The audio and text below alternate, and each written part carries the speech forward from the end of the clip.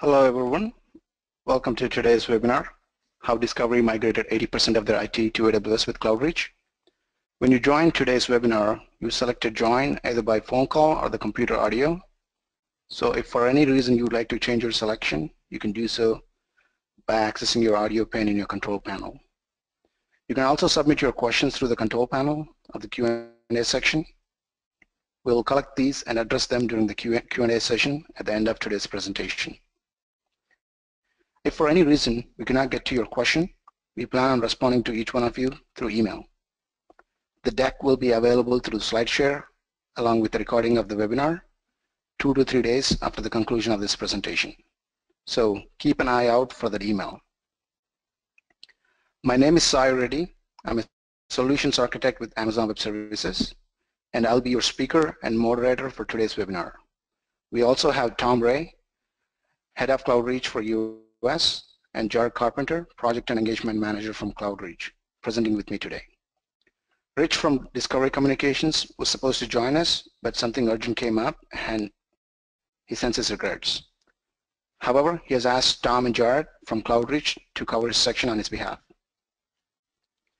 To begin with, I would like to give a high-level agenda of what we're going to cover in the next one hour. In the first 10 minutes, I'll give a quick overview of AWS, I will, I will cover why are customers choosing AWS, what are they achieving with AWS, what are some of the challenges they're facing when it comes to migrating to AWS, and how are we helping customers overcome those challenges. After that, I'll hand over to CloudReach team to talk about CloudReach services and dive deep into the Discovery Communications Migrations project. We will use the last 10 to 15 minutes for Q&A. With that, let's get started.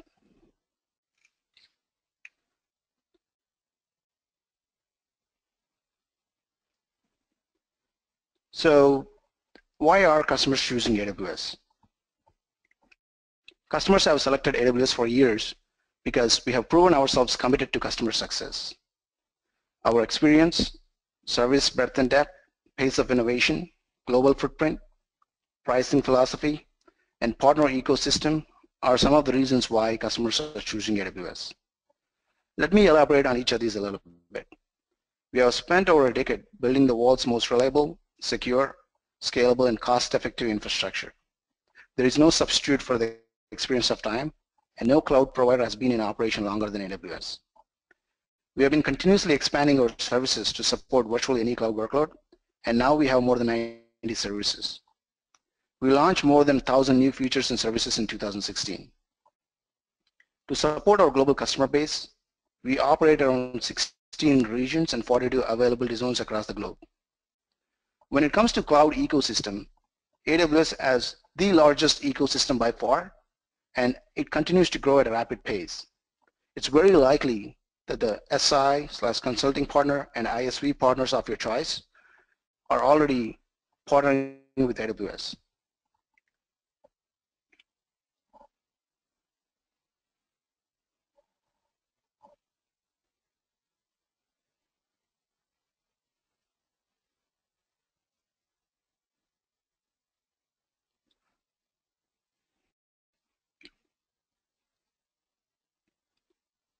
Sorry, um, seems to have a problem with the moving it forward. But so what are customers achieving with AWS? I would like to highlight a couple of customer examples. Uh, we're going to talk uh, deep dive into Discovery Communications Migration Project, but let me highlight a couple of customer examples. Everybody knows Netflix. Netflix runs everything out of AWS. They have around 90 plus million users in more than 190 countries. Using our global regions and availability zones, they're able to quickly scale and service their user base without having to purchase expensive hardware or having to manage uh, expensive data centers. Capital One, one of the nation's largest banks, is using AWS as central part of their technology strategy. Capital One selected AWS for its security model as they believe that they can be more secure on AWS than in any private data center. GE Oil and Gas is migrating 500 applications to the cloud as part of a major transformation, helping it attain a 52% reduction in total cost of ownership. These cost savings are, are in addition to other benefits such as greater speed to market and more agility.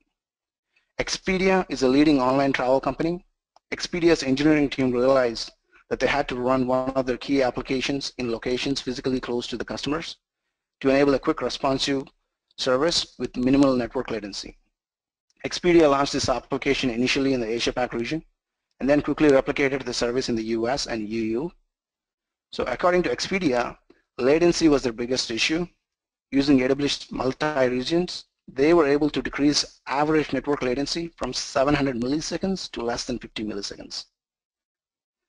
So customers adopting AWS are able to scale quickly, like Netflix, be more secure, like Capital One, save costs, like GE, and improve performance like Expedia. A lot of enterprise companies understand the benefits of cloud. They want to focus more on their business and innovate like a startup. However, they have some real questions and concerns that they want to help with when it comes to migrating to cloud. Questions such as, what do we do with our existing investments? How do we get on board some of our skeptical stakeholders? Will there be downtime during migration? How do we manage application dependencies during migration? What about the skills and expertise needed to migrate applications to the cloud? For the last couple of years, we have been working really hard to help our customers overcome these barriers. I would like to talk about three specific areas where we think we are helping our customers overcome some of the challenges associated with migrations. First, we have developed a large and growing ecosystem of partners, both consulting and ISV partners, such as CloudReach, that have the experience and skills needed to execute migrations. They can help you determine your migration strategy, create a clear roadmap for migrations, bring the skills that you need to successfully complete the migration, and even train your resources if needed and manage it after the migration if needed. The second area where we uh, try to help our customers is by creating a robust migration methodology. We have de developed this migration process based on our experience with numerous successful AWS migrations. We trained our partners on our migration framework and methodology. Our partners such as CloudReach use the same process when they do migrations. This migration process should look very familiar to anyone who migrated technology from one platform to another before. CloudReach will dive deep into this process in a little while. The third area where we work really hard to help our customers overcome some of these challenges with migrations is by developing a robust set of services and tools around migrations. Some of these services are our AWS Application Discovery Service, AWS Server Migration Service, AWS Database Migration Service, AWS Snowball, Snowmobile. AWS Server Migration Service is an agentless service that allows our customers to automate, schedule, and track server migrations, making it easy to do large-scale data center migrations. One of my favorite services, AWS Database Migration Service, helps our customers migrate databases and data warehouses to AWS easily and securely. You can do both homogeneous migrations, such as Oracle to Oracle, or heterogeneous migrations such as Oracle to uh, Postgres using AWS Database Migration Service and the associated AWS Schema Conversion Tool. AWS Snowball is, is another great service uh, to transfer petabyte, petabyte, petabyte scale data to AWS uh, in a secure in a secure way.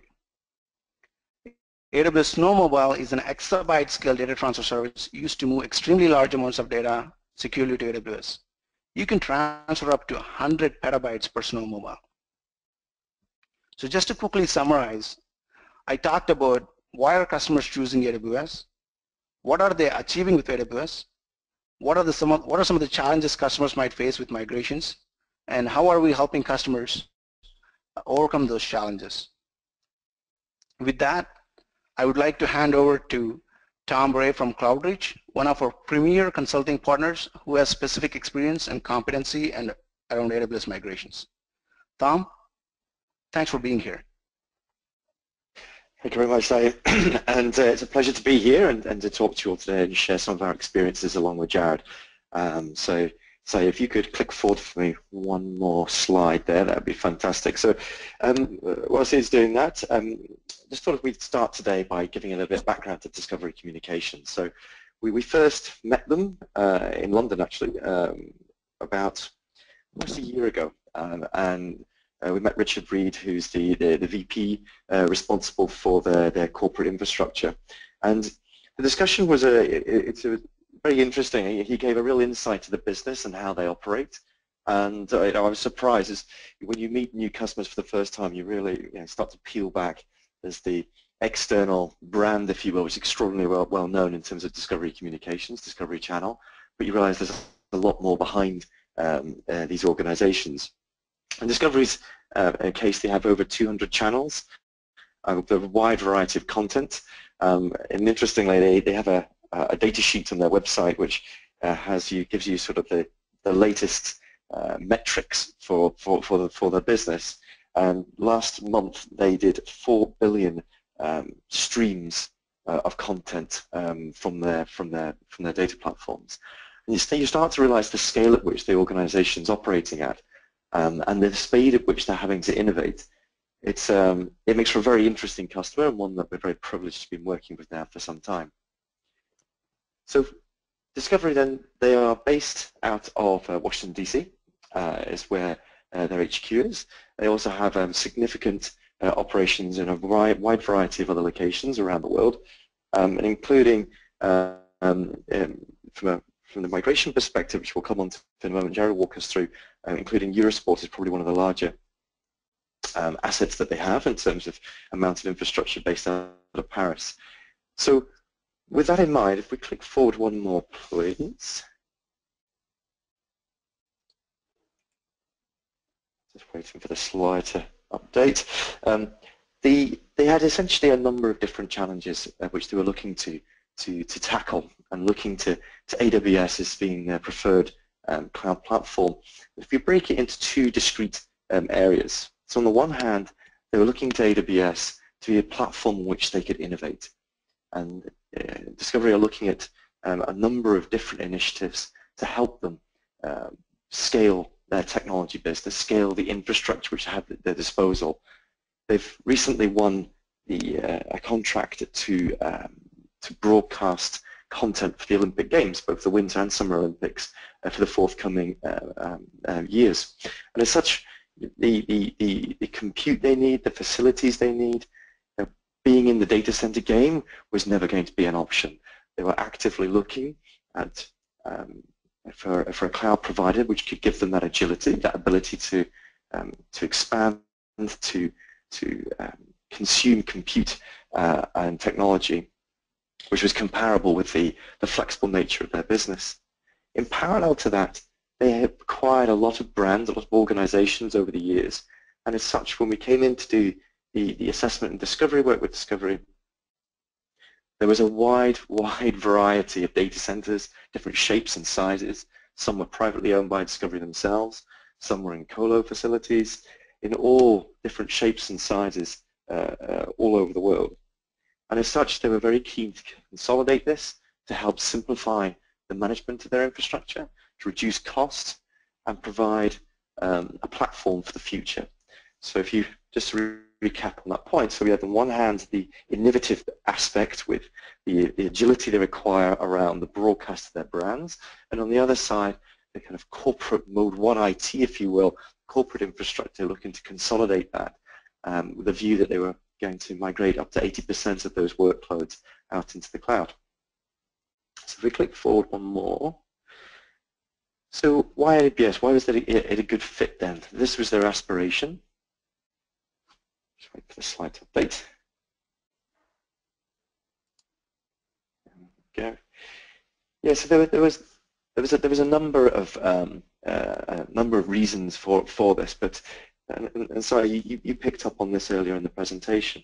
It's, it, was it was Amazon's breadth and depth of services which helped to address both of those key requirements um, that I've just described, which really put it in AWS in a quite unique position to be able to, to achieve both both the corporate, the Mode 1 workloads, the it's like the engine room of the business, the mechanics of the business, and also that agility um, to create and deliver the content for their, for their channels. So Amazon very strongly aligned there uh, in, in terms of choice. If we click forward one, so as part of this, Amazon, um, in those early discussions, Amazon are very uh, pro-partner, and as such, we're encouraging Discovery to go out into the marketplace to look for partners, a variety of partners, to help them uh, achieve this end game. And as such, um, we were kindly invited in by Richard and the rest of the team um, to bid to help with um, specifically on the, the moving the corporate workloads out into AWS. And part of that process, I think there's probably four pillars, if you will, tenants to, to, as to why we were chosen. I think there's an element of cultural fit, which ties in in essence to the global footprint piece as well. So CloudReach organization, we were founded in 2009, what's called a, a native cloud integrator. This is what we do. We, we don't do on-prem, if you will. We, we purely work with public cloud um, providers. Our footprint, we have operations um, in the UK, in Benelux, specifically out of Amsterdam. We have operations in Germany, out of Munich. Uh, we have operations in Zurich, uh, Paris, uh, and then in North America, we are based out of New York, uh, where I'm based. Uh, we have Chicago and Atlanta, where Jared's based. Over and above all of that, we also have our managed service business, which is based out of Edinburgh and Vancouver, uh, providing 24-7 care for those customers that need it. So the cultural fit piece um, was super important, and to come back to that, and it was the fact that we had teams that we could deploy in Paris going into Eurosport, as well as teams going into Washington, D.C., and occasionally into other locations, you know, places like Miami, into the Nordics, for example, was super important. Because one of the things that Jared's going to talk about today is that connection, the cultural fit, is super important to a successful project when you're doing these data center migrations, the rapport between the teams is absolutely pivotal to success, as it is in any project, but specifically when you're doing data center migrations to the cloud, the, the, the having the clarity of direction, having that key stakeholder uh, backing, plus also having a rapport to um, provide uh, skills transfer to the customer teams, in this case discovery, to help enable the customer to be able to do more themselves so that either A, they can help in terms of the velocity of the project and moving their applications because ultimately the customer understands far better the intricacies of the specific applications than a third party would. But also B, a lot of our customers are looking to manage the infrastructure themselves thereafter. So those two points are very closely um, connected. Now the point around velocity and agility, we've been doing this for many years. So Discovery is one of a whole range of clients that we have where we've been doing data center migrations, both of corporate, what Gartner would call Mode 1 applications, and also for building net new, if you like, more cloudy architectures um, as well. So the agility piece is born out of our methodologies, and Jared can take you through that in a minute. So click forward, please, Jared. So let me introduce Jared to you. So Jared works out of our Atlanta site uh, and has been running and working on Discovery now for almost a year. So Jared, I'll hand over to you, sir, and uh, let you walk us through uh, the, uh, the, intricacies of the project itself. Thank you very much, Tom, and thank you, Sai, and a good day to everybody. Uh, so before we dive into the content of this slide, I want to frame the overall engagement a bit, and then uh, it'll kind of steer our conversation as we go forward. Ultimately, the engagement breaks into three major phases. There's the migration assessment, which you can see on the slide here currently. Then there is a shared services phase, which I'll speak to momentarily. And then there's the real work effort, the actual data center migration itself. So let's start with the cloud migration assessment activities that we partnered with Discovery Communications to conduct. We had an eight-week window, and during that eight weeks, uh, after an initial project kickoff where we assembled the CloudReach team as well as the Discovery Communications team and basically framed the project. we broke the uh, assessment uh, into three work streams to be completed during that eight-week period. Uh, and they are basically defined by the deliverables that each work stream yields. So a high-level design, a security and governance report, and then a migration report and plan. Start with the high-level design. In this work stream, the primary goal is to do high-level analysis of the current on-premise state, connectivity, high availability requirements, disaster recovery and backup, security and compliance, things of that nature, and then translate that to the corresponding infrastructure on AWS. At the end of that workstream, as mentioned, you get a high-level design document that will then serve as the technical cornerstone and reference point for all activities going forward through the migration. At any point, as you get into lower level activities, you should be able to come back to your high level design, reference what's been laid out there and how it's been defined to instruct the team members on the, some of the more technical and specific activities. But it's certainly a living document, and as you go forward through this process, be even beyond the assessment, uh, there are new things that are uncovered, new things that are learned, and the effort is always to come back to the high-level design and assess the impact. Next deliverable will be the security and governance report. Where the high-level design is the technical cornerstone, the security and governance report serves as sort of the people and process cornerstone of the project and going forward with this, this newly migrated estate, um, a guideline that can be followed and here to keep everything uh, optimized and, and adhering to the policies and procedures that have been defined. So you get into the governance and security. The, the security piece is obviously fairly straightforward, um, ensuring that the uh, security standards that are requirement for a given customer environment are adhered to. And then governance, the, the way in which cloud resources will be consumed, tagging strategy, uh, and things of that uh, things of that nature. So at Discovery, during this work stream, what we learned is they had done a, a good amount of work uh, on their own before uh, engaging CloudReach, partnering with AWS uh, ProServe. And so they had a, a good foundation laid uh, in this area, security and governance. So our primary task was to partner with them to review that uh, and ensure that uh, you know, it was in a state that we felt was uh, in alignment with best practice and also add to it where we could our own experiences and our own insight into the ways in which they could ensure that, that this document was in an excellent state to, to steer go-forward activities. And then, of course, the third work stream, uh, the migration report and the plan. So really two deliverables out of this one work stream. There's the Cloud Migration Assessment Report, which serves as essentially the initial scope. It's the identification of the hosts and their corresponding workloads uh, that will be a part of the migration. It's also where we go through the exercise of making our preliminary determination of the migration path for each workload. I'm referring to the AWS 6R model. Um, as with the high-level design document, this is certainly a, a, living guideline, so it's our initial pass at it, but certainly as you get down the road, and I'll speak to this momentarily, um, you will find that there are, there are changes, and that's, that's to be expected. We also have the migration factory design, and, and again, we'll speak a little bit about the migration factory shortly. Um, it's the approach by which CloudReach uh, migrates data centers to AWS. Uh, but in that design includes uh, the identification of tooling, uh, schedule targets, and what is the picture of the resources, both from a CloudReach perspective as well as from uh, the partner site, what it's going to take to achieve this. I'm going to jump forward one slide.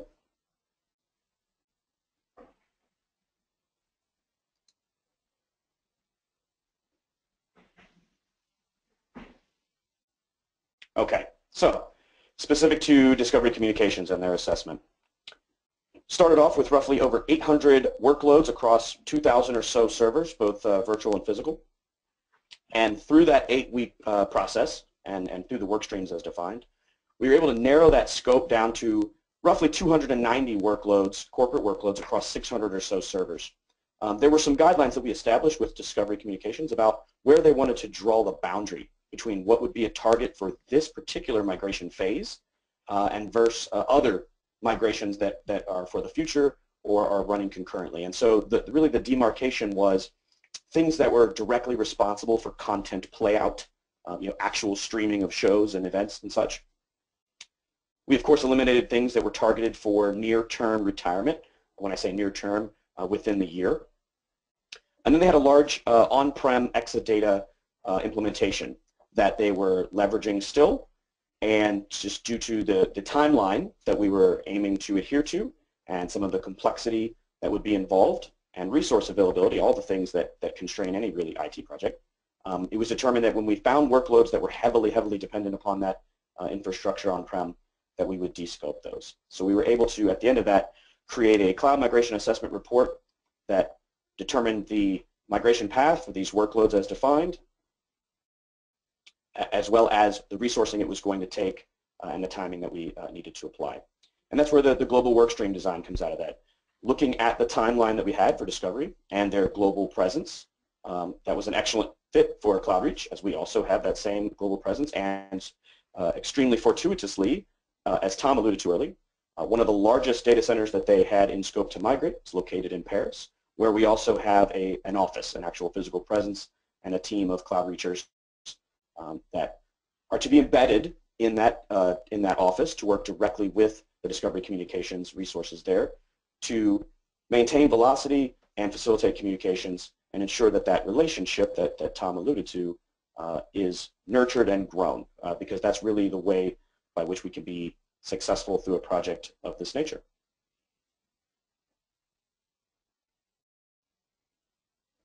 So during the assessment, some of the joint challenges that the combined CloudReach and Discovery Communications team faced. The workloads that were in scope were spread across many siloed business units, all under the Discovery Communications umbrella. Uh, I feel like this is a fairly common challenge in many large enterprises, at least it has been in my experience. So the solution, excellent communication, tight collaboration, and the designation of key points of contact from each business unit, as well as some of the support organizations like networking, infrastructure, InfoSec, etc. Uh, in essence, putting together a, a SWAT team or a cloud center of excellence designed to help us bridge those gaps and work between those silos to make sure that we could understand and collaborate fully across all these different business units and perspectives uh, as we went through our assessment, so to fully understand what was the nature of, of the estate we would be migrating. Another uh, challenge we ran into was uh, concurrent to our assessment, there was a, a CMDB refresh project underway. Um, and so walking into that environment, we, we didn't have a, a solid baseline as far as pre-existing CMDB uh, from which to work, um, which is obviously challenging, especially to an assessment phase. So it was an iterative approach that we had to take. Uh, we aligned ourselves with the CMDB project initiative um, and made sure that our approach remained sufficiently flexible to ingest uh, new pictures of that data as it was made available. Um, and we also then translated that to a somewhat iterative revision approach to our overall uh, assessment outputs, our deliverables there. Uh, because certainly as we learned more about what was coming out of the CMDB and as that picture became more clear, it had a direct impact on what our scope was going to be. But leveraging a, a, an agile approach to this phase allowed us to be very flexible and to respond quickly. And then finally, there was a limited penetration of pre-existing automated estate discovery tooling. And if I were to expand on that a bit more, there's also a, there's a very uh, mature uh, and robust change management process in place at Discovery uh, for any number of reasons that had to be adhered to. So we were limited in our ability to deploy uh, agent-based discovery tooling. Uh, we also had somewhat of a limited time frame um, to deploy tooling of any kind, uh, in an automated nature that is, uh, and collect meaningful data because we had uh, an assessment window that, that was um, shooting for velocity. So how did we solve that? Um, close and frequent engagement with our stakeholder groups, both technical and uh, business, as well as examining what tooling was already in place for their management and monitoring of their on-premise state globally, um, and specifically uh, Splunk, and this uh, was of tremendous value to us as we went through this assessment phase. So partnering with their teams and using some of our own tools and experience to leverage what was already there to augment uh, the, the process of meeting with stakeholders, application owners, uh, and IT uh, experts and SMEs as well. So before we move on, uh, Tom, your thoughts regarding the importance of the assessment phase and things that, that ensure success there. Yeah, sure. Good point, Jonathan. So I think it, I, I spent a lot of time explaining to um, to stakeholders and our customers, you know, the importance of getting the foundations right. Foundations in terms of the the landing zone, the shared services, the the, the kind of common elements that are going to be required, but not losing sight of the fact that these projects involve a lot of people. And there's, there's, a, there's an excellent document um, that Amazon produced called the Cloud Adoption Framework. And elements that, that, that, uh, Jared was showing you on the previous slide, I would call out are super important in terms of how the team is going to be organized, what skills do they currently have or they will they need in the future. And it's about getting these elements, these ingredients in right at the beginning, such that as these workloads start to migrate, people understand why you're doing the project, they feel they have the right skills in place, um, your, your customers organized correctly in order to be successful. So there's a great URL, um, there's a great white paper from Amazon which just recently been updated on the adoption framework. I would strongly suggest that people do take a read of that. Um, and then, as you say, Jared, there are always going to be blockers. The quality of data and the practicality of deploying tools into our uh, customers' estates. Pretty much every single migration we do, we go in wanting to use our default toolkit. Whether we can or not, we need to be quite adaptive because because of certain security controls, perhaps down to time, and, and so on. It, you know, it will determine as to uh, the, the, actual approach uh, once we get into the, the, meats and bones of the project. So, well summarised, uh, Jared. Thank you for that. Thank you, Tom. So the next phase, uh, shared services setup. Uh, another eight weeks allocated in partnership with Discovery for this phase. So having completed the assessment, high-level design, security and governance report, cloud migration assessment report, as well as the initial migration factory plan, uh, we moved on to this next phase. So we've got the plan laid out from the assessment, and this is an opportunity to go through the uh, procurement and setup of tooling both for migration as well as uh, monitoring and management, if those are anything is undefined there, as well as project prep. Um, so as I mentioned, uh, from a tooling perspective, we're looking to see, based on the composition and the operating systems that are in play, the existing layout of on-prem, what are the tools we're going to use to implement and execute on the migration paths for the workloads that have been identified. So in instances, for example, where it's a, a rehost, what is the tool that we're going to use to actually do that lift and shift? what are some of the guidelines if we're doing re-platforms and leveraging this as an opportunity to do operating system upgrades, things of that nature. So uh, all part of the shared services setup. Project prep as well, we're going through and uh, reviewing and making adjustments to the project team composition as needed. We're also establishing some of the fundamental things that you would expect out of any IT project in terms of communication plan, escalation paths, uh, reporting cadence, uh, KPIs and metrics, uh, just understanding what the executive team at Discovery was interested in seeing uh, relative to the project and its progress, what was important to them to be able to communicate with their uh, stakeholders and with their leadership. We also go through an environment verification. As I mentioned, when CloudReach was engaged with Discovery, they had already started along their cloud journey uh, with guidance from AWS. So they had a pre-existing uh, AWS infrastructure that had been established in terms of accounts and VPCs and various network connectivity. So our exercise uh, with the CloudReach team was to go through and do verification and ensure that everything was in alignment with best practices, once again, much like security and governance. Um, analyze the security groups and IAM roles that were in, in place uh, and ensure that their that Active Directory connectivity was uh, implemented properly and, and again, in line uh, with best practices. It was essentially checking the boxes to ensure that the environment into which we were about to migrate workloads um, was optimal and was as we would uh, advise any of our customers to configure it. And then as a bonus, um, there were some uh, immediate migration targets that were established due to a number of business drivers. So we had a data center in Paris that was leveraged primarily as a disaster recovery site. And then in Miami, we had a data center um, where there was a subset of workloads. Um, for varying reasons, there was a need to be out of those data centers uh, before the end of the year 2016, um, which gave us uh, only a portion of those eight weeks, roughly four weeks to be specific, uh, to get those workloads migrated. Um, what was super beneficial there was that uh, establishment and being able to leverage that, that Cloud Center of Excellence, that SWAT team, partnership of CloudReach and the Discovery Communications team, uh, to be able to dive right in. Um, another uh, beneficial part of having to do these kind of expedited, expedited high priority migrations was it served to set a precedent, a, a pilot, if you will. Um, it was a quick win that we could then partner with Discovery to use internally to kind of uh, push down some political barriers and build confidence uh, not only in the, the public cloud itself, but also in our migration approach and the methodology that we'd be using. Um, so it was a really great opportunity to kind of uh, the proverbial two birds with one stone. Um, we were able to meet some, some very pressing business needs for Discovery, as well as build some political capital, if you will, or some goodwill towards the project uh, very early on. Tom, any thoughts before we uh, proceed to the migration factory portion? The point you made at the end there, Jared, I think is a very valid one.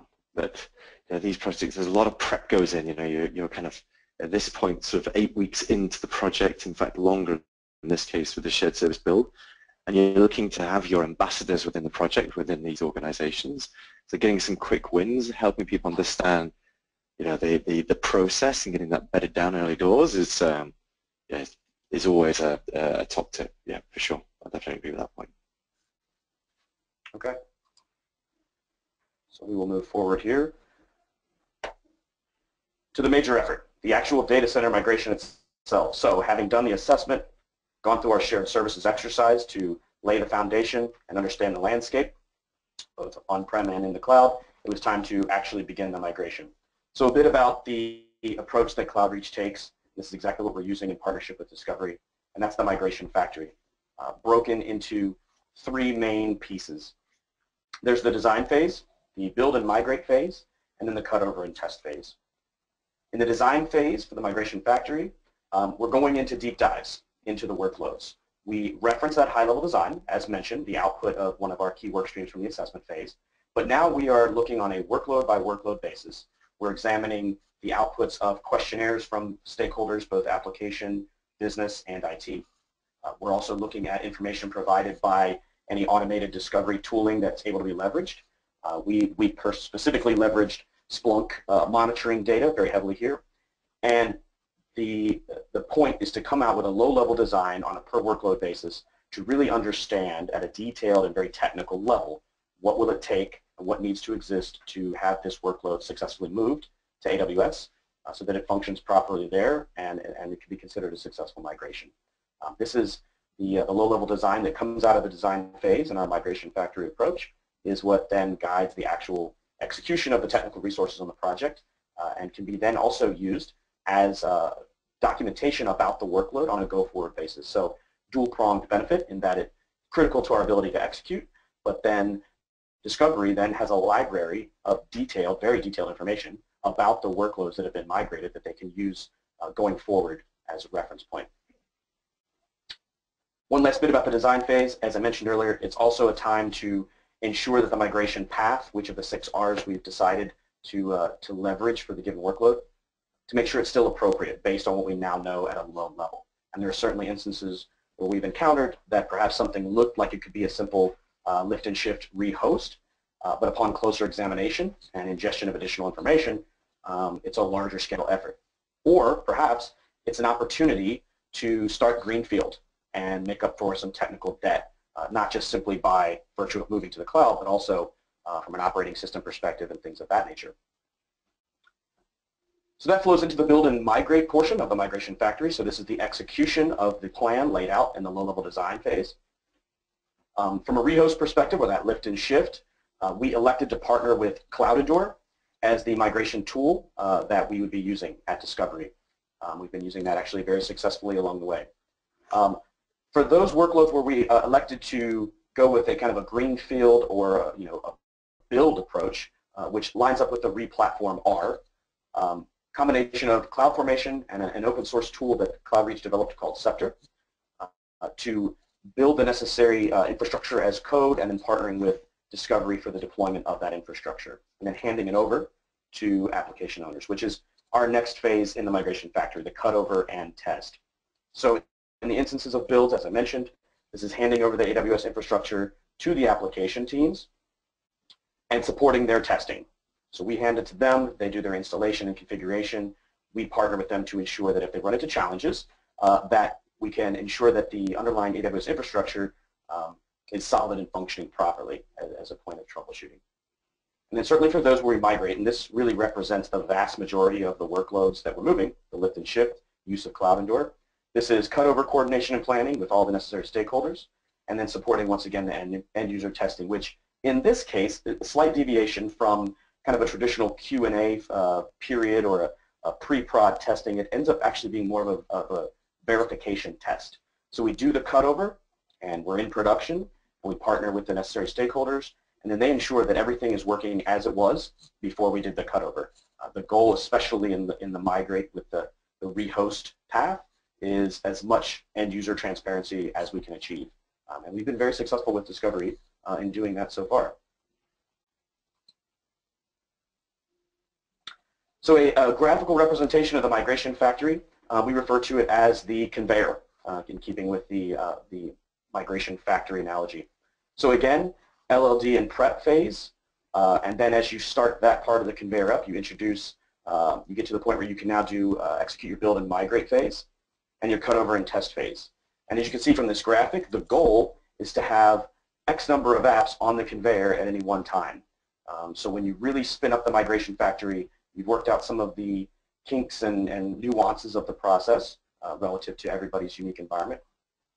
You've got a number of apps in each different phase, and this is really how we go about establishing uh, real velocity in the migration process.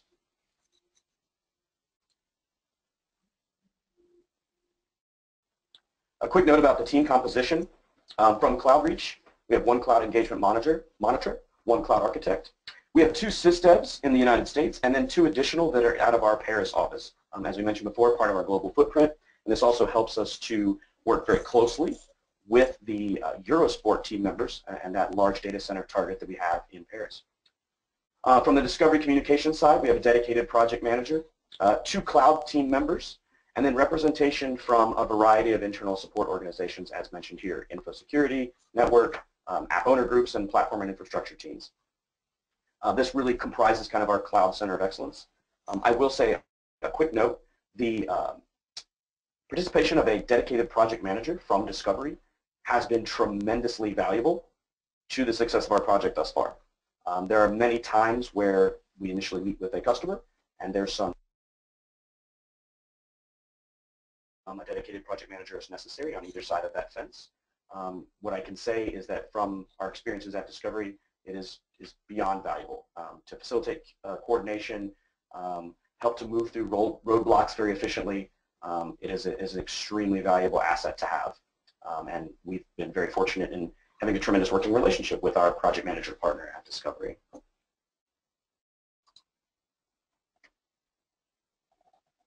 So where we are currently in our data center migration. Paris data center, as mentioned, fully migrated. Miami data center, fully migrated in a matter of weeks. Uh, and a data center, one of the primary data centers in the United States, uh, just recently finished up uh, here last week in about a 10-week span. On the conveyor currently, uh, the graphic that I referenced before, uh, we've got data centers in the Nordics region, we are leveraging our CloudReach team both in the US and France to overcome some time zone challenges very effectively. Uh, and then the large data center in Paris, and that will be led by our CloudReach uh, team out of our Paris office uh, with support from the US, um, certainly giving us the ability to work around operating hours and to accommodate um, certain schedule constraints that may exist, um, having wide time zone support between the two countries. Work that's currently being planned, um, a variety of other data centers that have smaller workload counts but are, are highly globally distributed, as well as a base of SharePoint-based uh, workloads, um, all on that SharePoint platform, which we'll be endeavoring to kind of move um, in its entirety. Challenges that we've encountered so far, um, certainly maintaining velocity with many competing responsibilities uh, within Discovery, not just the business as usual type of things, but Certainly Discovery Communications, being a, a large enterprise, has many competing projects and large-scale initiatives that are consuming the time of many of our resources. And so uh, close reporting, close communication, not just with the, the, the, people on the project team, but also with our champion, uh, and sponsor, has helped us to overcome many of those. Um, and then there's also an, a concurrent effort to homogenize the infrastructure across the various business units. Um, as we mentioned at the uh, outset of this webinar, uh, Discovery has uh, acquired several companies over time, and they brought to the table their own unique infrastructure picture.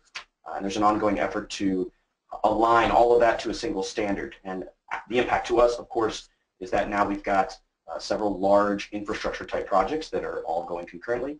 So there are some planning considerations, resource availability constraints that have to be accommodated. But uh, again, leveraging an, an, agile approach to the project and close communication, um, we're having really good success with our discovery partners in overcoming some of those challenges. Tom, any additional thoughts on uh, data center migration?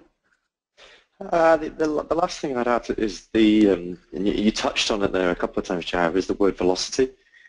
These these projects they tend they tend take time, can take time, and they measuring velocity both in terms of numbers of servers, amount of storage, but importantly applications migrated against a benchmark. So in the planning piece that Jared talked about right at the beginning, monitoring, measuring, and reporting upon those metrics is super important because these things, just because you can refactor an application and you can use some of the new features, it may not be in the best interest of the, of the, of the, uh, the stakeholders and it's all about maintaining that velocity, completing the project on time and on budget. That's something that you know, we we're pretty obsessed about, um, but it's super important for the, for the success of a project like this. Tom.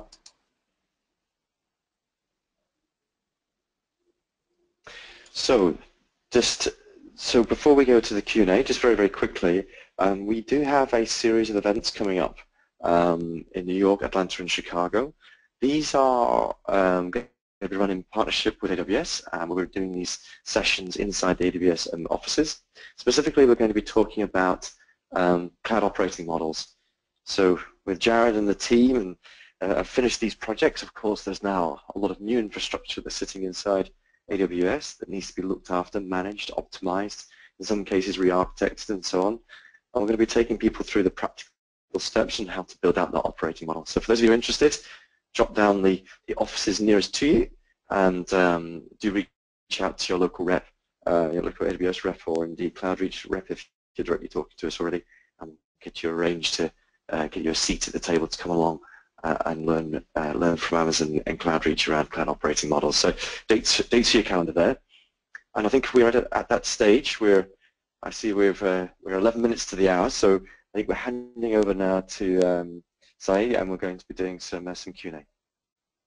Oh, thanks, Tom and Jared. Uh, now, before we start the Q&A, I want to just uh, start off uh, congratulating CloudReach. Uh, they've been recently, you know, rated as a leader uh, for cloud managed services by a well-known analyst firm. Uh, congratulations, Tom and your team. Thank you. Uh, we got a bunch of questions here, very good questions. So let me start with, uh, we got a question from um, Aaron. Um, this question is, what qualifies lift and shift versus uh, re-architecting? Very, very good question. So it really comes down to listening to the customer. Um, well, maybe I, maybe I'm misinterpreting the question. I think so. There's two two two aspects. Of this is so re-architecting is where you're you're redesigning the application to take advantage of cloud architecture uh, and best practices. So, for example, you may want to to break up an application to use the queuing services from Amazon, to use serverless architectures with things like Lambda. Now, that's you're breaking apart applications, but there needs to be a good business case for doing that because it does take a lot of effort. Imagine the the testing schedule associated with that. Lift and shift, on the other hand, is leaving the application, the operating system, the storage intact and moving it using tools like Cloud Endure uh, across into AWS as is uh, with very modest amount of change. So um, th there's those two buckets, if you will. So rehost, replatform, uh, and then there's a middle, sorry, a refactor. And there is a middle ground. The middle ground is called replatforms. This is the six R's that uh, Jared alluded to. So replatform is where you're making perhaps modest change. The application code doesn't change, um, but you may wish, for example, to use Amazon's RDS, their managed database service, um, if you were migrating um, MS SQL, Oracle, or open source database. And so you're making modest changes to the application. You're taking advantage of some aspects uh, of, of AWS, but the code remains intact, and the testing and level of effort is very modest. So rehost, replatform, and then refactor being the uh, to, uh, taking applications back to the bare bones. And then just to finish that out, Tom, the uh, retain, certainly those things that have to keep uh, remain on-prem, retiring those applications that are determined to be no longer needed, um, mm. and then repurchase or a shift to perhaps a software as a service model. I did see a, there was a question about the 6R, so I thought I'd just take advantage there. Um, mm. a, a real quick note, if I might, just how that qualification applied at Discovery, kind of real world. Um, another, you know, the key driver for us uh, was a combination of technical complexity, but probably more so was about velocity. Um, rehost, the lift and shift tends to be the fastest migration path um, because, as Tom alluded to, you are picking up an existing infrastructure and workload, a server uh, or servers, and moving them to AWS uh, with some, some kind of some tweaks at the end of that to make them functional. So for discovery, there, the, one of the primary goals was get to the cloud. Um, and so as such, uh, for the vast majority of the workloads that we are working on and continue to work on, rehost is the path due to time um, and, and the velocity that they need to achieve and what some of their uh, constraints are. Um, and then there's always the opportunity in a subsequent future phase to optimize. And that's where examination of uh, application re-architecting will take place. Okay, thanks, Jared. Uh, there was a question about uh, what percentage, uh, there was a question from Trevor. What percentage of the infrastructure was virtualized before the migration? Uh, do you guys have any insight uh, on that, Tom and Jared?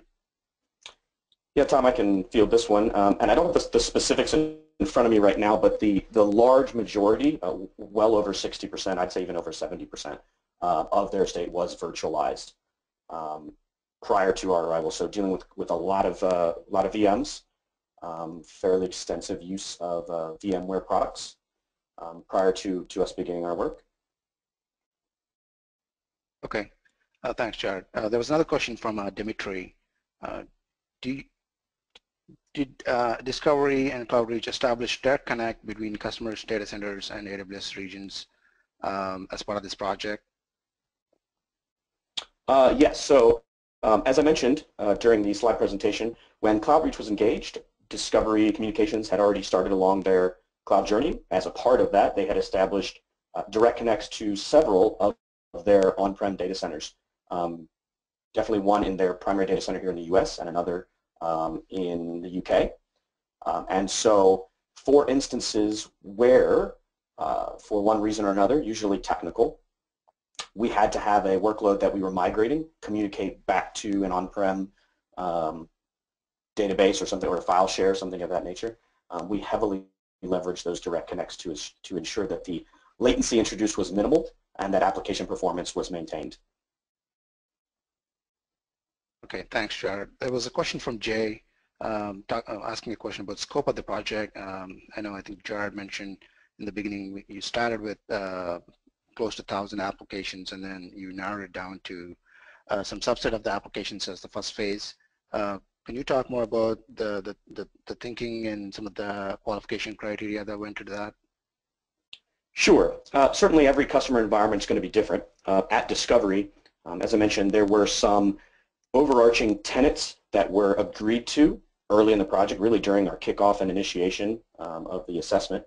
Um, those were very specific to the nature of some of the workloads. They had some that were, uh, I guess, as I mentioned, play-out based. They're actually just actually streaming content. Um, there were some concurrent projects that were handling that, that were descoped.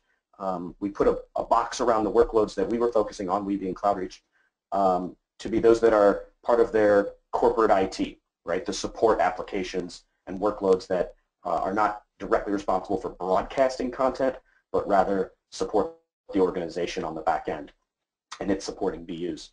Um, additionally, and this holds true um, in my experience in just about every customer environment, um, as you get under the hood and you're working on you know, what your estate looks like, they, there's this opportunity to do this evaluation where you say, do we even want to move this workload um, given that it's, it's limited in its functionality or we have an opportunity to consolidate what it does with something else.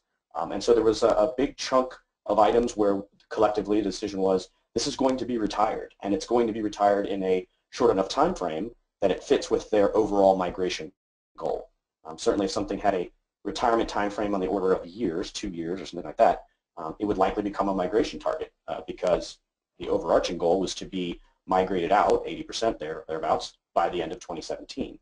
Um, but for those where within 2017 it was reasonably uh, expected to retire the workload, they would be descoped.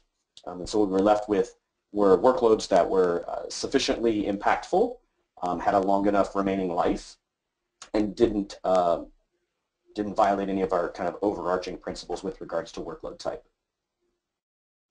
Oh, great. that makes sense because if the applications are supposed to be decommissioned, um, it doesn't make any sense to spend any more resources uh, migrating that application to the cloud. Great. Uh, there's a question from Melvin. Uh, what tools, if any, were used to discover clients' existing environment, applications, um, etc.?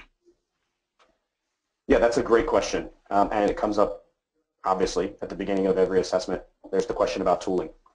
Um, early on in the assessment, as we met with Discovery, we're kicking off the project, uh, not just from a project management kind of style kickoff, but also a technical kickoff. That was the, the, one of the first questions that we partnered with them to answer. Um, their environment, being unique as it is, um, some of the, the constraints that they have with their ability to uh, deploy any sort of agent-based discovery and whatnot, we were somewhat limited um, with what we could use in terms of automated tooling. Um, but we also certainly didn't want to um, have to rely exclusively on communication and questionnaire and things like that because just from a velocity perspective. So what we were able to do was look to see what they already had in place and what sort of information that it provided to us. So um, they had a, a, a, deployment that was had limited penetration across their virtualized estate. Um, collectively, we determined that it, it really wasn't going to benefit us to use. But what they did have was a, a very robust and and uh, wide Splunk deployment, pulling lots of like just amazing metrics um, relative to what we were able to pull out of it. There was the moment of concern. We're like, man, automated tooling could be a challenge. And then we look and partner with some of their Splunk admins, and it's like, this is a tre treasure trove of data um, so we actually were able to lev leverage that to do, I won't say automated discovery because it's not truly what it's doing, but the data that we were able to ingest coming out of that um, yielded a very similar result. Uh, thanks, Jared. Uh, I think we have time for one more, one last question. Uh, uh Tom, um, you know, there, there are two types of customers here. One that are already uh, started a migration and one that are thinking of starting a migration. Do you have any mm-hmm. any tips and uh, for those uh, two types of customers? Yeah, yeah, sure. So I think on the for those that are considering, the, the key thing I would uh, urge people to do is to find yourself uh, a, good quality partner, be a cloud or someone else for that matter. I would, my strong suggestion would be to go for a cloud native partner, somebody who's done this many times before.